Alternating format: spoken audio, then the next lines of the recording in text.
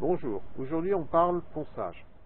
Alors, vous pouvez très facilement transformer votre Kitty 660 en dispositif, en stand de ponçage.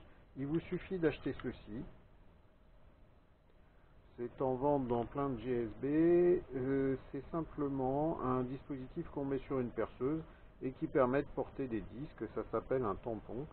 Euh, et donc, euh, si vous regardez à l'arrière, il est possible de dévisser cette partie-là. Et ici, vous êtes fileté en M14. M14, c'est un format qu'on connaît bien. Alors, on va lui mettre la bague. Hop, pour pas que l'axe ait tendance à traverser le tampon de ponçage. Hop, et voilà, c'est en place. Là, vous avez la possibilité en plus euh, de travailler. Alors, évidemment, on peut, on peut changer le papier, mais vous avez aussi différents diamètres qui existent. Là, c'est le diamètre le plus courant, 125 mm, mais sachez que ça existe dans des formats plus grands euh, et que donc ça peut être relativement intéressant dans notre cas. Voilà, vous avez euh, en quelques secondes et pour un coût vraiment modique, transformé votre euh, Kitty 660 en machine à poncer, en lapidaire.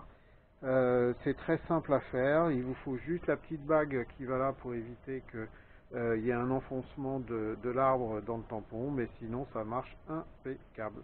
Voilà